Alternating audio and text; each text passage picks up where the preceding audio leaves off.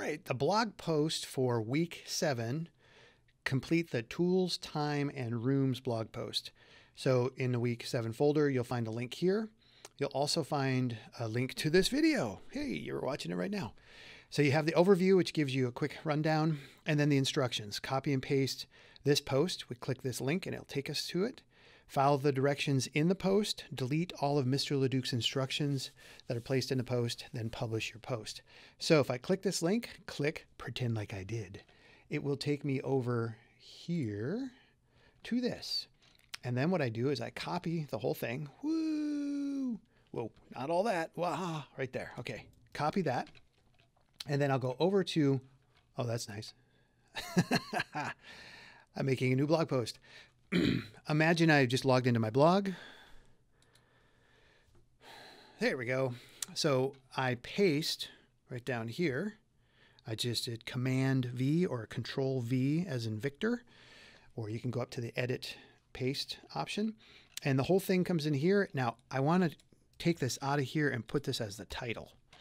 Okay, and I want to delete this. Hey, you want to see a cool trick? If you go into here and you take this stuff out. It'll go like that, and it'll put it right at the top. And then you can follow the, the directions here. Write your weekly summary here last, at the end of the week. Only one to two sentences, and then delete all my stuff. Okay? You're going to leave the headings. In the practice room, set a timer, 15 minutes. And what I want you to do is if you haven't picked an editor for film editing at home, uh, please do so. And uh, this was a video showing you five different software programs that are free. Um, but again, see what works best with your computer at home, whether it's a Chromebook, Mac, or Windows box. Find uh, then find a YouTube playlist a channel that has a nice playlist for tutorials for that particular tool and put that in here. I want you to link to that list and write a brief description about that particular channel and playlist because we want to compare resources to see what's going to work well. And I have a bunch of stuff, but I want to see what you find. Then delete this whole thing when you're done.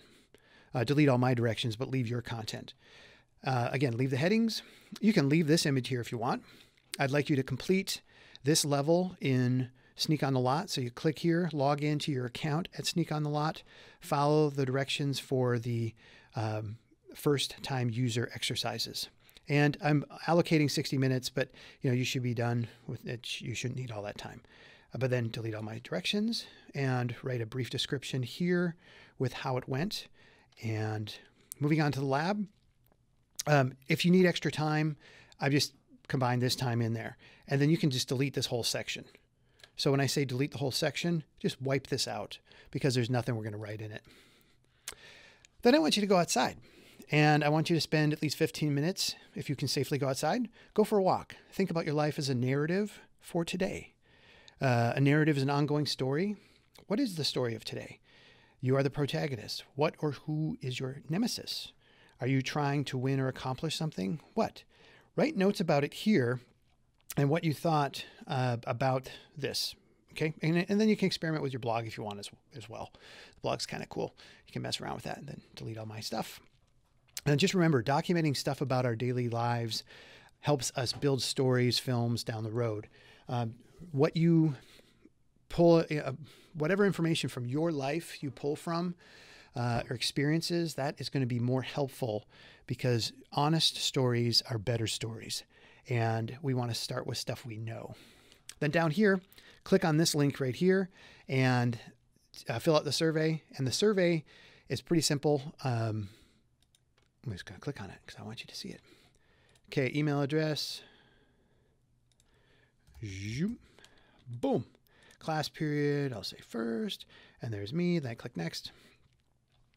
How was the the content of this week? What did you think of the content? And then you could write something here. Then next, what did you think of the process of this week? I'm a little biased here, you know. And then hit submit. That's it. And that is it for this week's blog post.